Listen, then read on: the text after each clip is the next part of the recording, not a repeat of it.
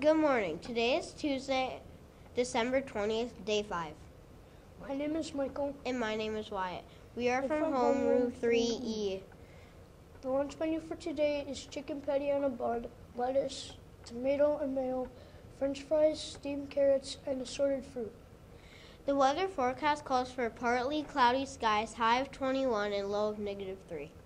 Celebrating birthdays today, Evelyn, Evelyn and 3F, Maya in 4C, Jace in 5E, Sienna in 3 and 6B.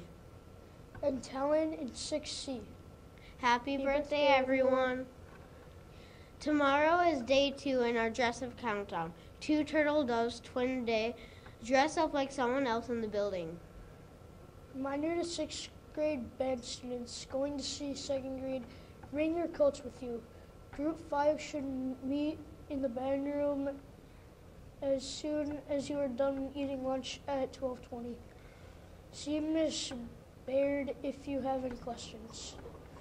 On this day in 1790, Samuel Slater built the nation's first cotton mill. Please stand up and join us as the pledge, pledge of Allegiance. I pledge allegiance to the flag of the United States of America and to the republic which it stands, one nation under God, indivisible, with liberty and justice for all. You may be seated and make today a great day.